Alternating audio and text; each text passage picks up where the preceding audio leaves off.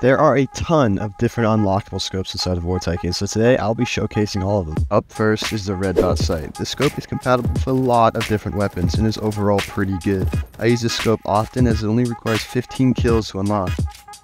Next we've got the holo sight. This one's pretty traditional and overall it's just basic. It's easier to unlock as you only need 25 kills.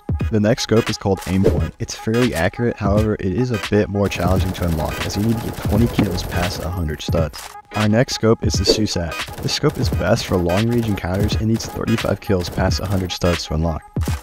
The UH-1 Holo is pretty much a better version of the Holo Scope as it's smaller and has a better reticle. However, you do need 60 kills past 100 studs to unlock this scope. Up next is the ACOG. This scope has got to be one of the best since it allows for good accuracy at far ranges, but you do need a total of 65 kills to unlock it. This next scope is the Romeo 4T. This scope brings a circular reticle while having an overall zoom effect, greatly increasing its mid to long range capabilities. The scope requires 75 kills past 100 studs to unlock.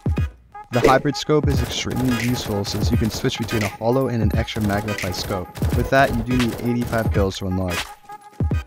The HAMR is by far the best scope, allowing you to switch between short and long range, allowing for an upper hand in all combat scenarios.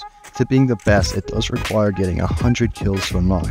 It's important to note that not all these scopes are available on all weapons as they vary between. The challenges to unlock the scopes may also be different per weapon, but are generally the same. Also, if you could please subscribe, that would help out a lot since I'm trying to hit 10,000 subscribers by the end of the year.